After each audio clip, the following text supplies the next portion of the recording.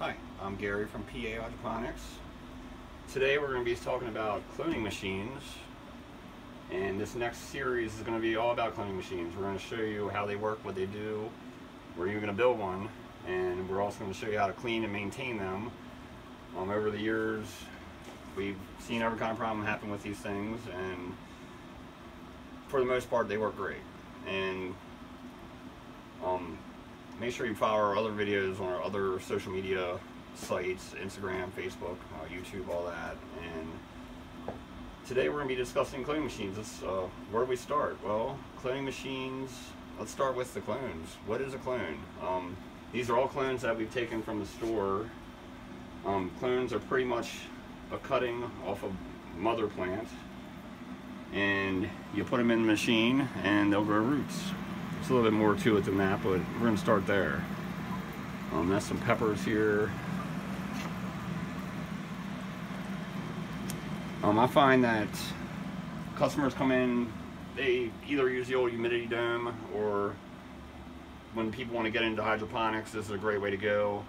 If you're transplanting from a cloning machine into soil, you're kind of going from one different thing to a completely different other thing. So you're going to shock the plant a little bit more. So I really recommend cloning machines for hydroponics especially. Now, if you need to make hundreds of cuttings quick for soil, they are great for that too. Just there's some little tricks to transplanting that can help relieve the shock. All right, this machine here is an aeroponic cloner. Um, aeroponics is a form of hydroponics. It's where the roots are getting sprayed with nutrient solution from underneath, the, and the stems and the roots are hanging in air, so they're getting oxygen that way.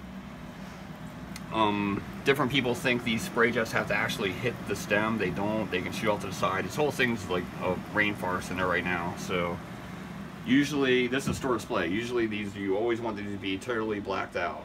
You do not want light going through. Light inhibits root growth. It doesn't stop the roots from growing, but it will slow them way down. And that's why outside you don't see roots coming out of the ground everywhere. Um, food grade plastic, yes, we want that. We covered that in some of our past videos. Other ways to do cloning, that's still a cloning machine, would be a deep water system. This one, the roots are hanging in boiling water and it works similar to the aeroponic cloner. We do carry those as well, and this is something else you could build at home, which we could walk you through that if you ever want to come in, we'll be glad to do that. Some of the things that could go wrong with aeroponic cloners, and same with all hydroponics, getting shocked. Don't get shocked. This is a GFCI outlet strip, and you can, some circuits in your house have these, bathrooms especially, and some kitchen receptacles will have them.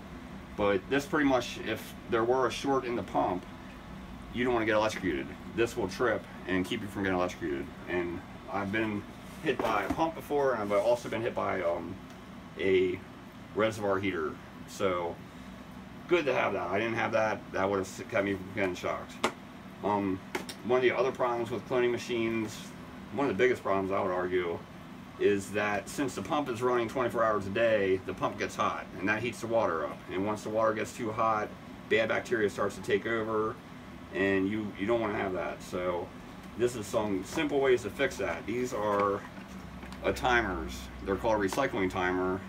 This one's a preset one, this one's settable. Um, the preset one's really easy. It's one minute on, four minutes off, and it just repeats that all day long. You don't, all you gotta do is plug it in, and when the pump runs for one minute, it never has a chance to heat up the water. So that's why these are great to have, and that will really keep your cloning machine going much better. Alright, that's going to be about the end of this episode. Our next episode, we're to be building a cloning bucket. It's to be pretty cool. So if you've ever wanted to build a cloning bucket, which is probably why you looked this video up to begin with, this is what we're going to be building here. Aeroponics. It's going to be a spraying system in here. We got our little nozzles, pump, lid. Um, got eight sites on this one it should be pretty cool. So definitely stop back and check that out. The episode after that, we're going to get into how to fill this up. We're to get into how to take your cuttings and how to maintain your system, including cleaning the pump and all that. So definitely finish watching this series. And I'm Gary from PA Hydroponics uh, here in York Springs, Pennsylvania. We also have a store in Maryland called All Good Garden Supply in Finksburg. and hope to see you back. Have a good